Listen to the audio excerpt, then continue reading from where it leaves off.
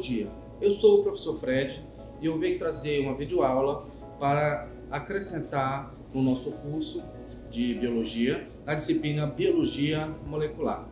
De início, vamos procurar entender de fato é, o que seria Biologia Molecular.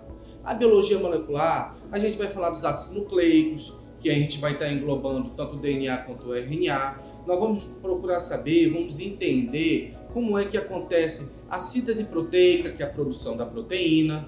Vamos ver também diferenças sutis entre DNA e RNA e como todo esse processo se desenvolve. Tá? Então, com o nosso material didático, é a parte de reconhecimento do material genético. Então, para que fique um pouco claro, a gente tem que começar a definir bem, de fato, o que é DNA. Se eu for perguntar para você, de repente, o que você acha que é DNA? O que é DNA? O que é gene? O que é cromossomo? DNA é a mesma coisa que cromossomo. Na verdade, existem algumas particularidades que a gente vai ver que não é tão simples assim, tá? Então nós vamos ver o seguinte. Vamos começar da seguinte forma. Veja. Material genético, tá? Então eu coloquei aqui três elementos que juntos vão formar o nucleotídeo, certo? Quando eu pego um nucleotídeo, eu vou perceber que um nucleotídeo é a parte de um DNA.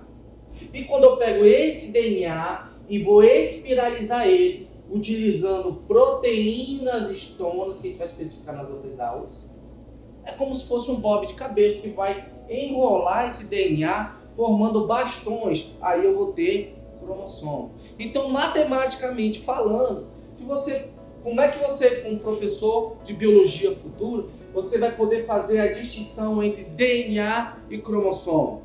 Você vai perceber que o DNA ele está disperso, ele está desenrolado, desespiralizado. Por outro lado, o cromossomo ele está em espiral como se fosse um bastão, um carretel de linha.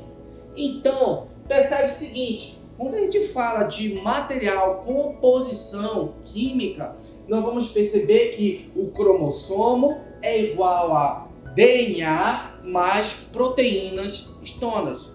Então, ele vai desempenhar um papel genético? Vai. O DNA também vai desempenhar um papel genético? Vai.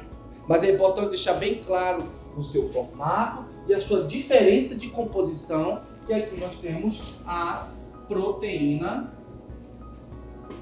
estômago, que vai ser fundamental. Mas, se você parar para pensar, por que que quando a gente analisa o DNA, sempre a gente vai ver nos livros didáticos o formato de cromossomo? Normalmente, o formato de cromossomo é a qualidade do material genético mais observável ao microscópio.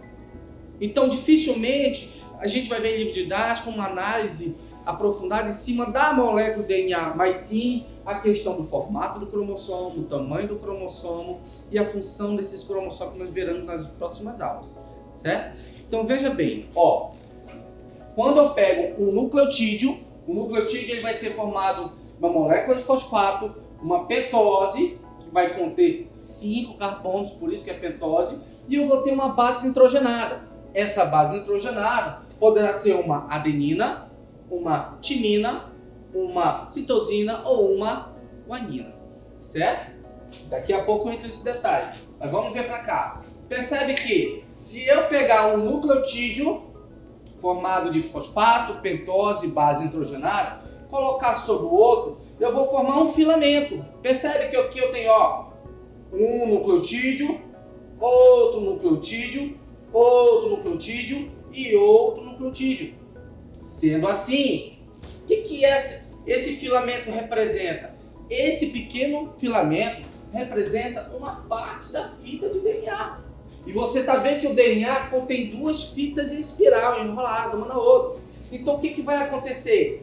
Quer dizer, professor, que o filamento DNA é formado de nucleotídeos ligados? Sim. Então, se o DNA possui dois filamentos, automaticamente temos que perceber que nós vamos ter dois filamentos formados por nucleotídeos ligados. Ah, professor, então ficou bem claro. O DNA não é feito de gene. Não. O DNA é feito de um conjunto, é formado por um conjunto de nucleotídeos ligados.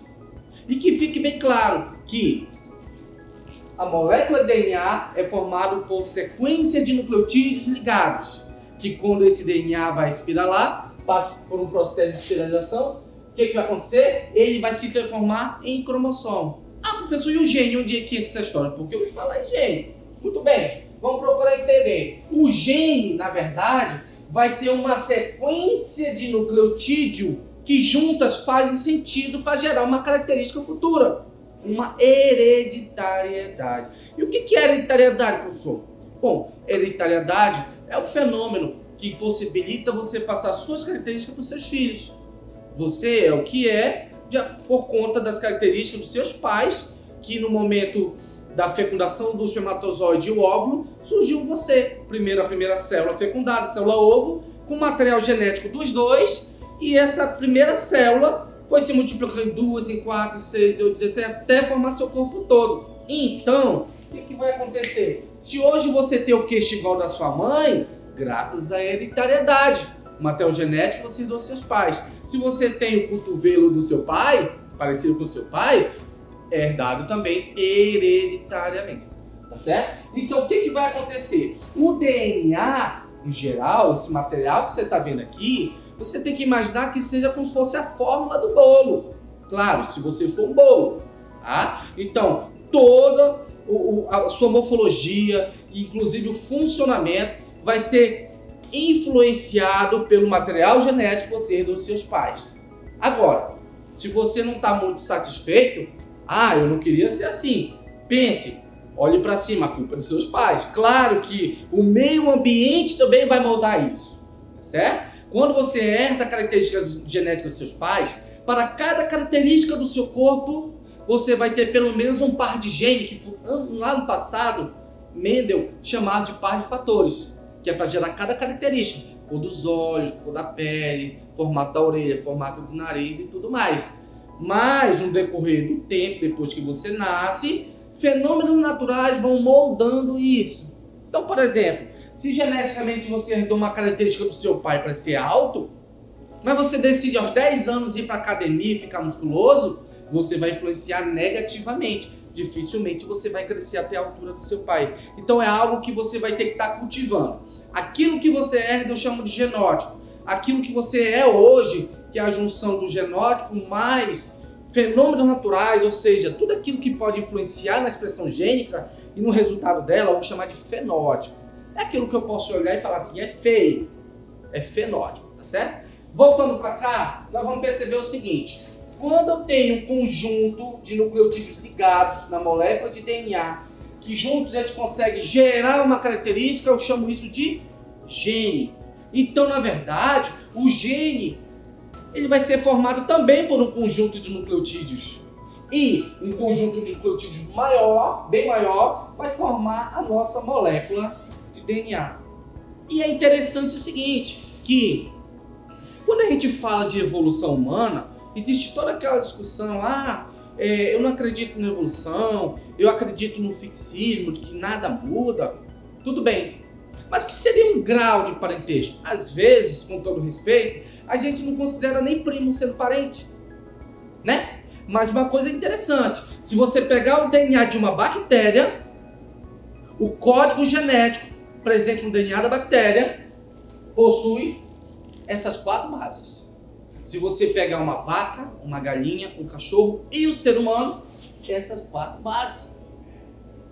Adenina, timina, citosina, guanina. Então, se tem uma coisa em comum entre todos os seres vivos, é o material genético. Se a gente vai chamar isso de grau de parentesco ou não, eu não sei. Mas que tem, uma, tem algo em comum, tem e que funciona muito bem. Uma prova disso é que a insulina, que quem tem diabetes necessita utilizar, que é um hormônio que vai conseguir tirar o açúcar do vaso sanguíneo para produzir, para poder produzir energia dentro da célula, o diabético não consegue fazer isso. Então ele precisa de uma insulina que vem de fora porque ele não produz. E quem produz a insulina que vem na farmácia? A bactéria E. coli, Escherichia coli.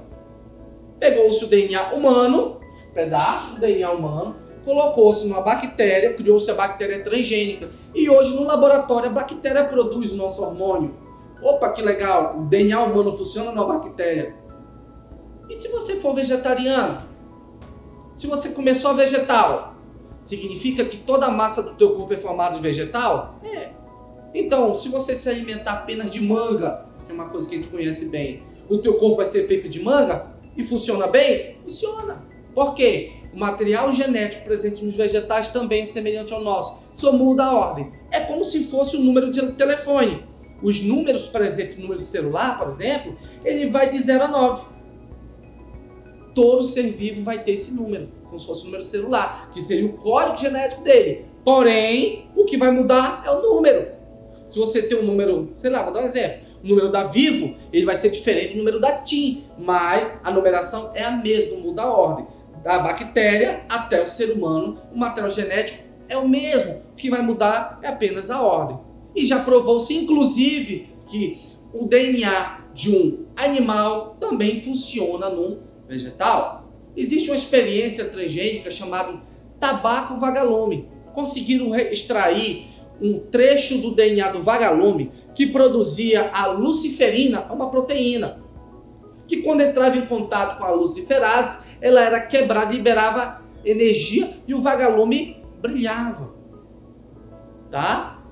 Conseguiram introduzir esse material genético em células dessa planta, do pé de tabaco, e quando regaram com um, um, um caldo líquido, um solvente contendo luciferase, a luciferina produzida pelo vegetal foi quebrada e o pé de tabaco brilhou como se fosse uma árvore de Natal. Parece um experimento simples, mas é super interessante, porque enquanto muitos acham, ah, eu não acredito que um animal se transforme no outro, eu não acredito que um ser tenha a ver com o outro, é interessante que já foi provado que um DNA, inclusive animal, funciona muito bem em um vegetal, certo? Para terminar nossa aula aqui, nesse momento, nós vamos perceber que nós temos quatro bases nitrogenadas: adenina, timina, citosina e guanina. E existe é uma coisa que chama de pareamento. Então, adenina sempre vai se ligar a timina. Citosina sempre vai se ligar a guanina. Ah, professor, e esses risquinhos que você tem aqui na frente, no meio? Eu vou chamar isso de ponte de hidrogênio. Significa dizer que, gente, é interessante que dentro da pessoa, lá no DNA, não tem a letra A. Isso aqui é um símbolo para representar uma coisa, para explicar que eu não estou vendo. Mas o que fique bem claro é que essas pontes de hidrogênio que você está vendo aqui nada mais é do que esses degraus que você enxerga na molécula do DNA quando você assiste o jornal ou o Globo Repórter. Esses skins para esse degrau de uma escada são essas pontes de hidrogênio aqui. Significa dizer o seguinte: o DNA ele é formado por dois filamentos enrolados no outro, espiralizado ou espiral, beleza? Então o que, que acontece? Sempre você vai ter dois filamentos no DNA. Então, se bem aqui desse lado eu vou ter um nucleotídeo que contém a sua base nitrogenada adenina, do outro lado eu vou ter que ter timina. Timina. Então, subentende que tem que ter duas pontes de hidrogênio aqui. Se bem aqui eu tenho citosina, do outro lado eu tenho que ter guanina. E eu sei que eu vou ter que ter três pontes de hidrogênio. E que fique bem claro, o que seria essa ponte de hidrogênio? Na verdade, os compostos químicos eles se atraem. Então, no caso entre adenina e timina, você vai ter dois pontos quimicamente se atraindo. Já entre citosina e guanina, nós vamos ter três pontos de atração que vai fazer com que um filamento DNA continue sendo ficando permanecendo próximo a outro filamento de DNA, tá certo? Então, pessoal, essa aqui foi uma aula inicial para ter como base para a gente acompanhar nosso material, tá? Acompanhe a apostila digital, entre em contato pelo fórum que a gente vai estar disponível para tirar as dúvidas. Até o próximo vídeo. Obrigado.